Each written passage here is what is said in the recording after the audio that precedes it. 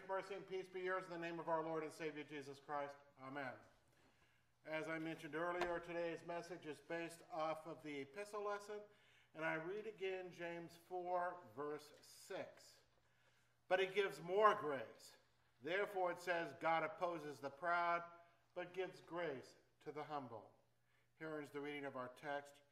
May God add his blessings to the reading of his word. Amen.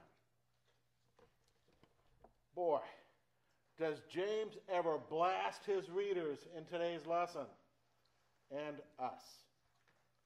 In fact, we find some of the harshest words in the New Testament in our reading from James.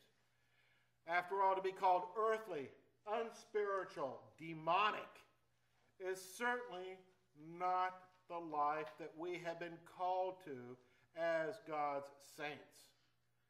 Yet, James cites the evidence. There is bitter jealousy and strife, disorder and foul deeds, quarrels and fights and covetousness. I'd love to say that, isn't it great that as Christians we overcame all of those problems in the first century? But that would be a lie. We see it in the world today, all over the place, don't we? And startingly in our congregations, in our families, on our blogs, and perhaps most troubling, in our hearts. That is why it is so shocking but true that James addresses this letter not to all of those sinners out there but he's talking about us, about the church. Our sin nature continues to cling to us and respond to Satan's prompting. You can see it in how people respond to refugees, how they respond to people with, uh, from different political parties, how they respond to people with different skin colors or people from different social or economic backgrounds. Shoot, you can even see it in how people respond when they're driving their cars. If we boil it all down to one thought, it amounts to this I'm number one. Me first. This is the temptation that Adam and Eve fell for in the garden, is it not? And as a human race, we've been falling for it ever since. The question about refugees, no matter how you phrase it, always boils down to this How will this impact me? What about me? The question in politics is always what about me? How does this impact me? Even when you're driving the car, the question is always how are the other drivers impacting me? Don't they know that I own the road? Don't they know that I don't have to stop for red lights? Don't they know that I don't have to obey the speed limit? Don't they know that when I'm on the road, they just should pull over and let me fly? It's all about me. Honest evaluation of our shortcomings, though even when it comes to driving, is not exactly one of humanity's strong suits, is it? So God helps us with the Ten Commandments, which we just read, didn't we? And yet we are so bad at honestly evaluating our shortcomings that we are even able to twist the Ten Commandments and evade them very easily fact, if you're in the church, you perhaps become quite expert at it. So we're going to review those Ten Commandments again to kind of get the sting of James, if you will. And I'm going to use a list of questions inspired by the Ten Commandments as Luther explained them in his catechism. And I found them in this book. It's called Treasury of Daily Prayer. For the first commandment, we can ask ourselves and what or whom do I trust most for financial security, physical safety, or emotional support? Do I fear God's wrath and therefore avoid every sin? Is my love of God evident in my daily life? Do I expect only good from God in every situation, or do I worry and doubt and complain and feel unfairly treated when things go wrong? For the second commandment, we can ask ourselves Does the gospel adorn my daily speech and conduct? Or do I curse, speak carelessly, or misuse God's name? Am I diligent and sincere in my prayers? Or have I been lazy, bored, or distracted? Do I trust that the Lord will answer my prayers according to his good and gracious will?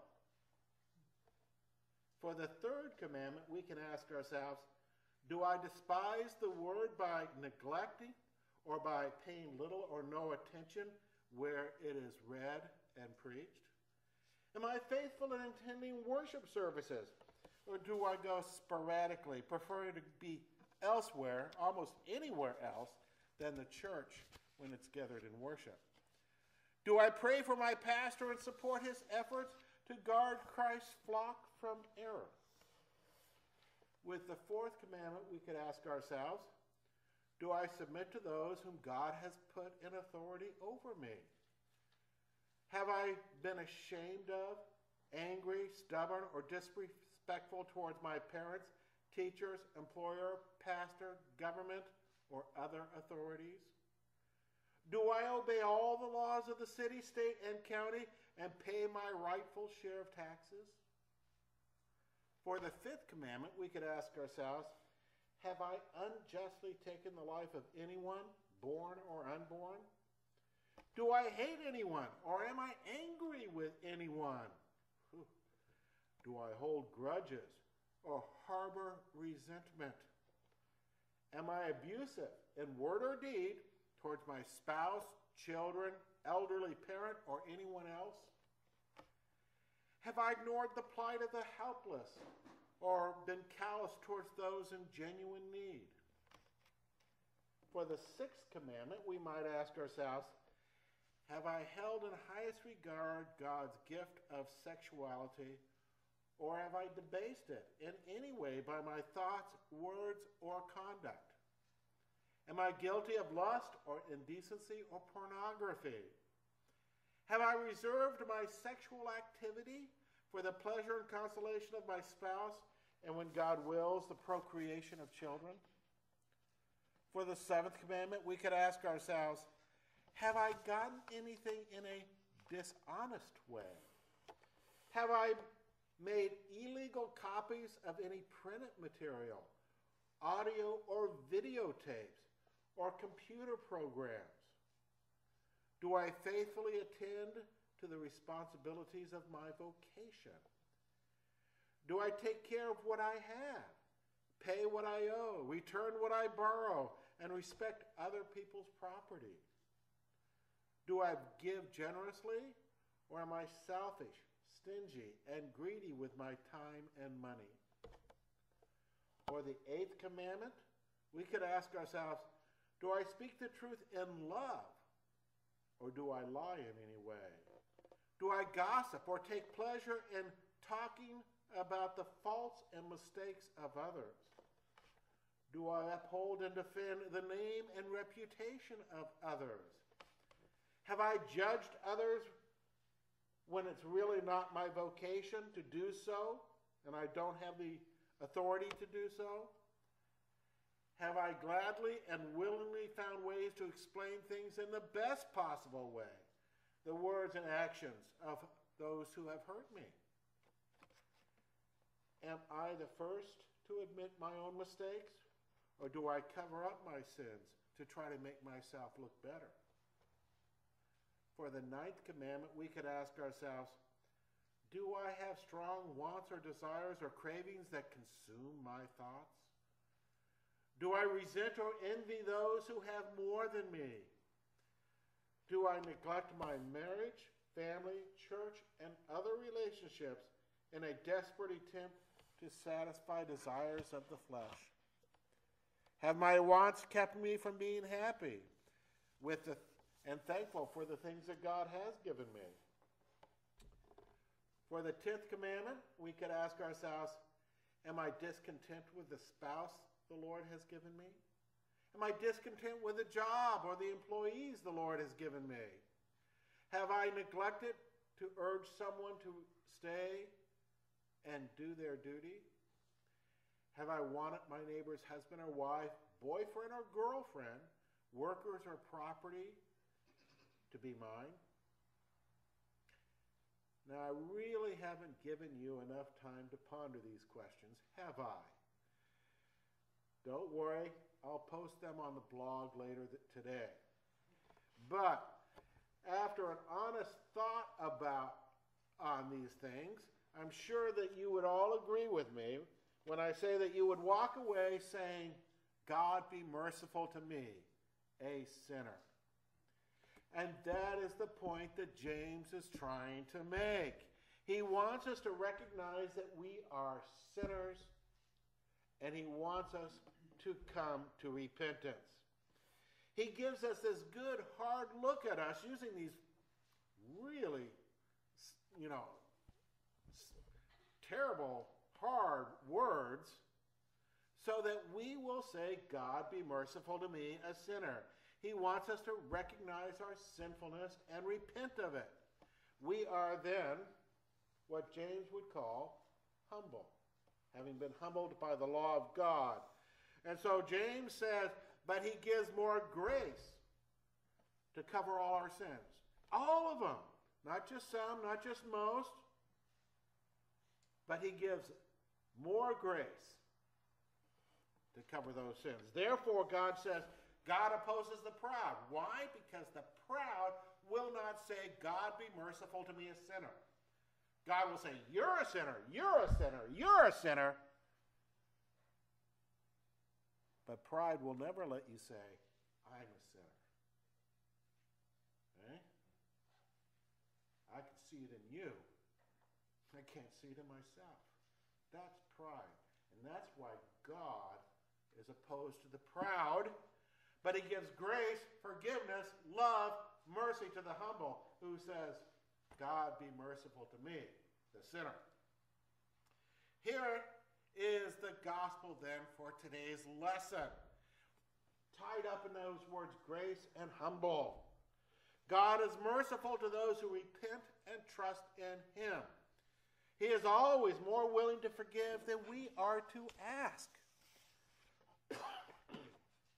James addresses this letter back in chapter 1 to those who hold the faith of our Lord Jesus Christ. That is to say, to those who believe in Jesus, that he is the only begotten Son of God, who for us and for our salvation came down from heaven and was incarnate by the Holy Spirit of the Virgin Mary, becoming a man in like nature like us, except that, of course, no sin in him.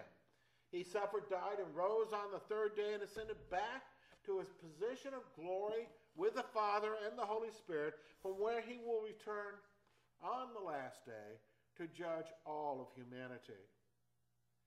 As we honestly consider our lives in light of the Ten Commandments, we can't help but realize that we fall short of God's expectations for us. But when we consider what Jesus has done, we also can't help but realize that God's mercy, God's grace, God's love, God's forgiveness in Christ Jesus is greater than our sins, all our missteps, all our deliberate deviations. God is merciful to the repentant sinner, the humble sinner. God is forgiving. So when our reading ends with the words that it does, we can hear them for what James is telling us. He says, Submit yourselves, therefore, to God. That is, with a humble heart, a repentant heart, a heart that has faith in Jesus. Resist the devil in that faith, not in your own might. How did Eve do when she tried to battle the devil on her own? not well. Yeah. Resist the devil in faith, and he will flee from you. Draw near to God. How do you draw near to God? Do you climb the top of Mount Everest and say, oh, well, this is about as high as I can get up here. Maybe I'll find God. Do you get in a 747 and fly around in the skies saying, I got really high, I can maybe find God. I'm going to get in a rocket and I'm going to blast off to the moon, circle the moon. I'm going to send out a spacecraft and we'll take pictures of Mars or Venus or even Pluto. And maybe we'll find God hanging out there. No. You draw near to God in faith. So when he says, you know, draw near to God, he's talking about faith in Christ. And God will draw near to you. How does he do that? In Christ, by grace through faith in him. So, by God's grace, James is telling us we are no longer trapped in sin. We humble ourselves in repentant faith, receiving God's forgiveness, and know that He has granted us His favor. favor. We now can, by God's grace, resist the devil. Now we can, by God's grace, find that we purify ourselves because Christ, is, who is pure, has become our head. And so on what wonderful things God does for the humble, for those who can say, God be merciful to me, a sinner. For God grants them grace upon grace, forgiveness and mercy. So let me just say this one more time. A humble, repentant heart that trusts in Jesus for forgiveness receives God's favor. Amen. May the peace of God, which passes all human understanding, keep your hearts and minds in Christ Jesus our Lord. Amen. At this time, I believe we receive.